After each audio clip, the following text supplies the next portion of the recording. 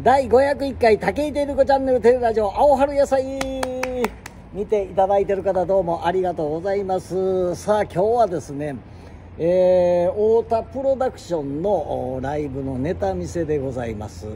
えー、ね、まあ先月も出していただいて、まあギリ、えー、残りまして、今月もまあ出れるということなんですけど、それでまあ、まあ、作家さんとかね、えー、太田プロの社員さんに、えー、ネタ見せをするということでございますよ。えー、じゃあ、行ってきます。まあもうちょっとゆっくりしようや。まあ、ね、やっぱり事務所の、やっぱり行きますわ。遅刻したらえらいこっちゃ。ねまあ事務所のライブですからねやっぱり、うん、気合入りますね。まあねそれでまあネタ見せも今日は本社の太田プロダクションの事務所の中で、えー、やるということでそうやってねまあ本当に、えー、事務所に関わらせていただくっていうことが本当にありがたいことでございますよ。本当にチャンスは転がってるから、えー、頑張っていくぞ。しかし今日は梅雨なんですが今日だけちょっとピカッと晴れまして夏日でございます。うんはよもう梅雨明けて夏来いやって思ったけどうん。もう夏ええわって思うわ。暑い。お暑いな。ほ夏いう感じやな。うんそんでこのマスクが辛いねこれ。またこのひと夏のマスクはやっぱり外せないんやろな。あ暑い。汗がザクザク出てくる。あネタ見せは冷や汗出るかな。暑い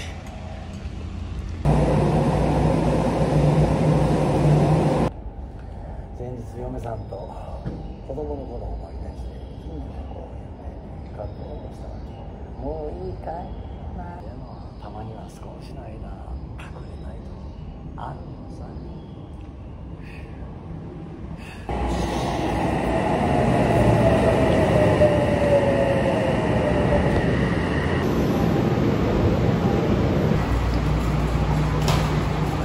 さああ新宿着きました。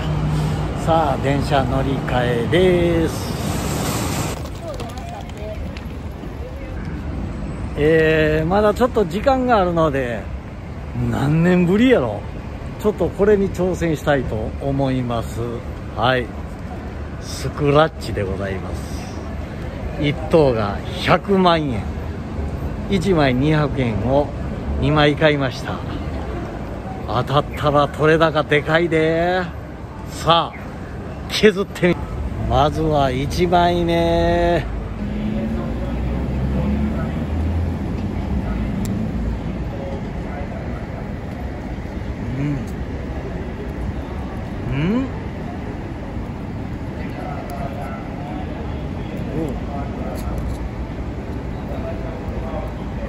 うん。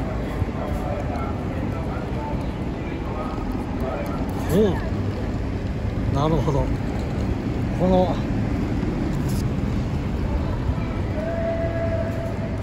この夜間がもう一個揃ったら1万円。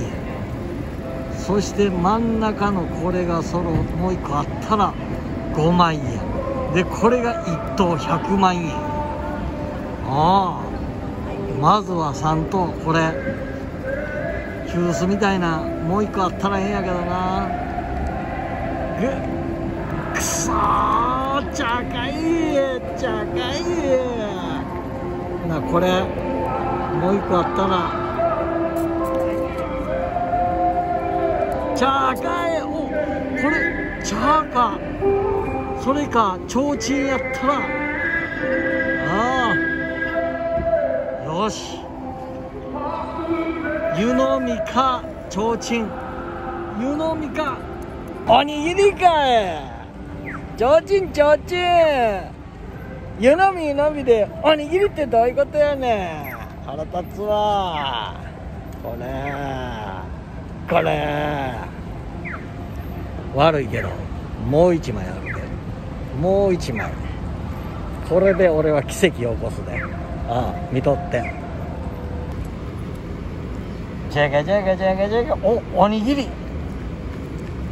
は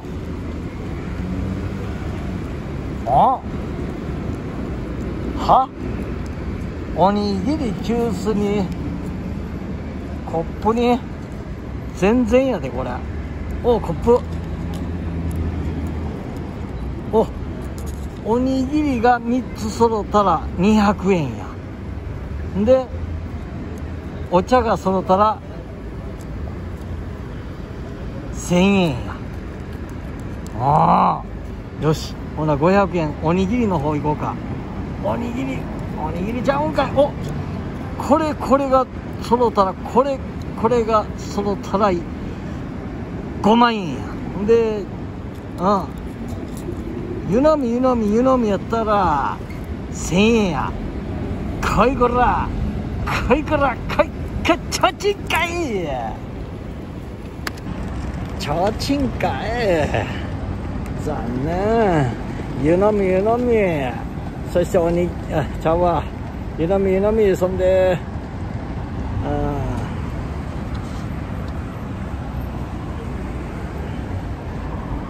残念でした。あのね芸人はこんな宝くじとかなこんななスクラッチとか俺はこのネタというこの宝くじを俺は引いてんねや。ああ芸人というネタが面白かったらああ一気に全部揃ってガーンとお金が入るわけよ。ああ人生宝くじよ。うん。まあその抽選日がいつかわからんけどね。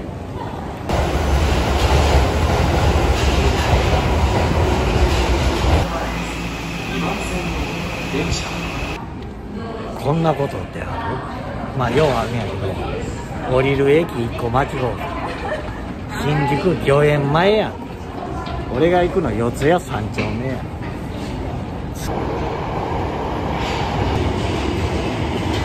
なんで降りたんや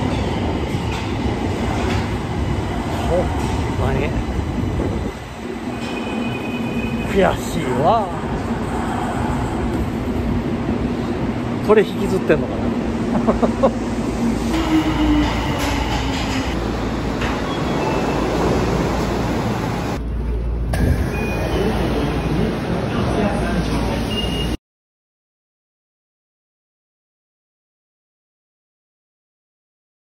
さあ着きました。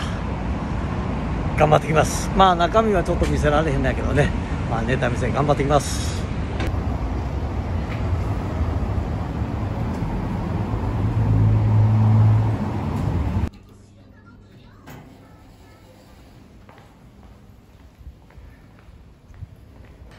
終わりました。うんまあ作家さんの感想はうんまあネタは面白いんやけどやっぱり武井さんでなくてもっていうネタですよねって。やっぱり武井さんのキャラが立ってるから武井さんが入ってるネタがいいと思いますよっていうのでまあそれで年齢がやっぱりその年齢っていうのが面白いからなんかその年齢でこうなってしまうみたいなネタを入れていってくれる方がみたいな。うん。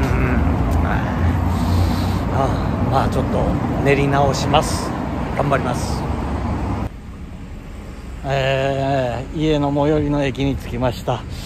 えー、まあ電車の中でねちょっといろいろ考えてたんですが、まあ、作家さんのアドバイスで、まあ、ネタはね大阪と東京の違いみたいなうんそれをこう絞って世田谷区と西成区の違いみたいなネタをやって、まあ、ネタは面白いんですけど武井さんのその年齢が入って武井さんでなきゃみたいなネタがみたいなうんとか。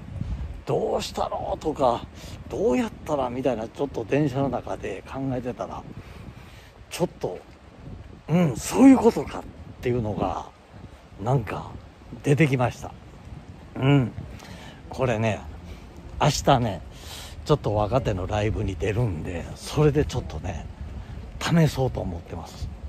うんまた明日配信します。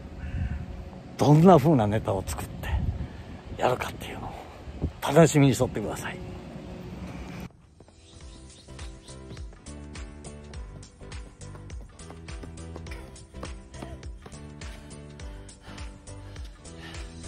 チャンネル登録。いいねボタン。拡散コメント。